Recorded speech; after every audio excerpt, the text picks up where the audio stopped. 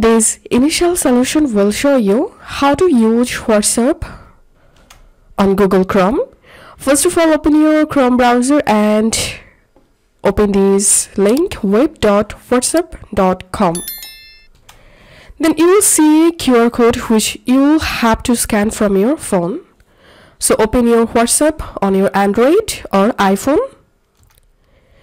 Then tap on settings. Tap on linked devices.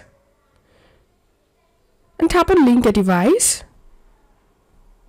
And all you have to need just scan the QR code from your Android or iPhone device. You just need to scan that QR code to pair WhatsApp on your phone and WhatsApp web client. If everything goes right, then now you will be able to see your messages on your web client in Google Chrome. If you find this video helpful, please make sure to subscribe Initial Solution. See you in the next video.